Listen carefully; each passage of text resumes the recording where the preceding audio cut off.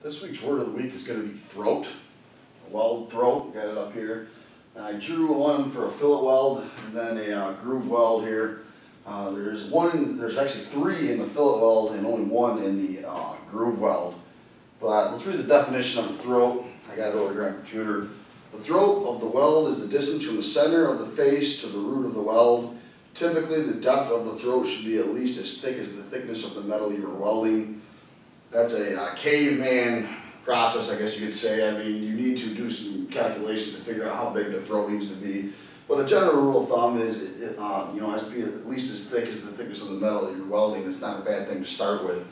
Um, depending on what you're doing and how much, you know, weight and stress and things like that, it's going to be on whatever you're welding. Um, I'm going to section this off because I kind of got a little jumbled here. When I started doing the drawing, it wasn't that easy to draw. So that's um, just a title up there.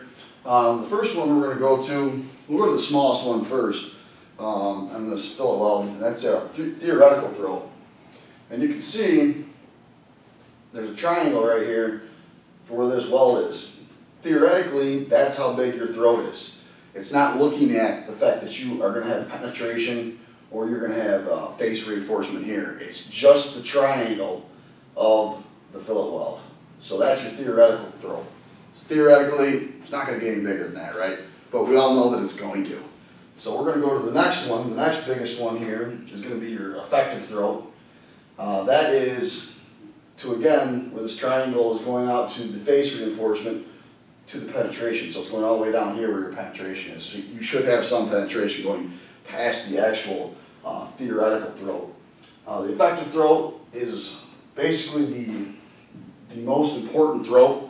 It's, gonna, it's where you're going to get all your integrity for the fillet weld. So the effective throat is very important. And the last one, the third throat on here is your actual throat. That's going all the way out, your, your face reinforcement, all the way to your penetration. Um, that's your actual throat. Uh, most calculations, if you're doing weld size or bead size for a fillet weld, are going to come off this effective throat. You can go into the actual throat, and what they'll do is they'll break that into a triangle. So you're going to lose a little bit here. They're going to take it like this. They're going to make a triangle. They're going to do some trig.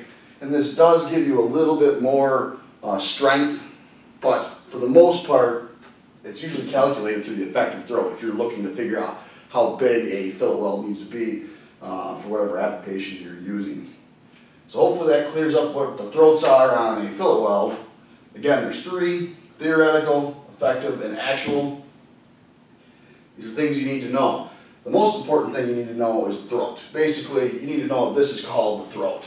Uh, if you know all three of these, you're doing better than the average welder. So uh, let's go over here to this groove, um, groove weld over here, or groove joint. Um, throat, it's just the middle. They don't take into the uh, root convexity or the face reinforcement. The throat of a, a groove weld is just right here, where the theoretical line goes at the top and the, the bottom there. So, and that's just called throat. They don't have these three designations for a groove weld. So, typically when you're thinking of throat, you're thinking of this right here, because your depth of penetration is going to give you all your strength right here in this um, groove weld anyways. With the, with the fillet weld, if there's no throat, there's no weld. It's the integrity of the entire fillet weld. So, what we'll do now is we'll look at a couple of uh, etches of um, some fillet welds here and we can kind of point out where these three throats are. So we'll uh, pull them up on the big screen here and we'll take a look at those. This is a uh, fillet weld etch done on a uh, fillet weld both sides on a T-joint. And it has a good look at your uh, theoretical throat as well as your effective throat. Your actual throat, there's not a lot of convexity to this. So we're going to skip the actual throat on this, and we'll define the theoretical throat first, because that's the smallest, and then the effective throat um, after that. So what they're going to do for theoretic throat, remember we had that dashed line in there? That's your theoretic throat size. So we're going to come down here, we're going to write theoretical throat.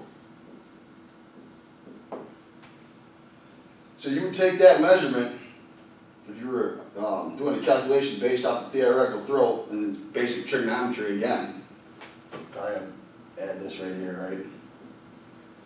And then if you're talking about the effective throat, You're gonna come off the penetration here, again, right here, for your effective throat. So you go a little bit deeper, because that's good penetration there. If you're looking at this edge, that's an acceptable weld, as long as the, the leg size was good and everything. So we'll look at a different one that has a little bit more convexity on the face, more face reinforcement, and, uh, look at the effective throat, or not the effective throat, the actual throat, sorry. This is another etch here we got of the actual throat we're gonna go over. Um, I like this one. It's got some face reinforcement, but it's really not doing anything. So remember we were talking about the effective throat. That's, um, wh- where most weld strength comes from. But the actual throat is gonna come off the top of the face reinforcement here and the weld penetration here. And that is gonna be your actual throat. If you were looking for the entire size of the throat, that's it.